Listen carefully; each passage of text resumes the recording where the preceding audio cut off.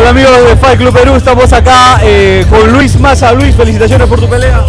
Muchas gracias. Ante todo un agradecimiento especial a todo mi equipo Knockout Training Center que viene desde Ventanilla a apoyarme y a todas las personas que vienen hoy a verme participar en este gran evento. Y muchas gracias a toda esa gente que me sabe, que yo sé que me está viendo ahí. Y era ahora y muchas gracias. Muchas gracias por confiar en mí, muchas gracias por la transmisión. Luis, una batalla, todavía queda un toque. Yo sé que estás cansado, disculpe, dame un toque. Una batalla de tres rounds intensos. ¿Cómo viste a tu rival? ¿Fue, fue difícil la pelea? Bueno, muy duro mi contrincante. Yo sé que ambos hemos venido muy preparados porque ambos tenemos la mentalidad de llevarnos la victoria. Creo que que se la lleva es porque está mejor entrenado, más preparado, pero igual no le quito méritos a ese entrenamiento.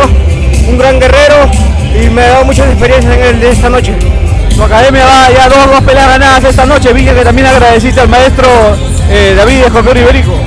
Sí, ambos pertenecemos a la misma línea, entrenamos muy fuerte con el profesor David Escorpión Iberico. Muchas gracias porque él apuesta por los jóvenes talentos que hay aquí en las artes marciales de Perú.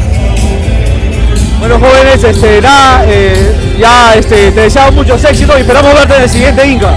Muchas gracias, yo sé que digo profesor Iván que estoy listo y preparado para enfrentarme, para medirme con cualquiera de mi categoría. Gracias.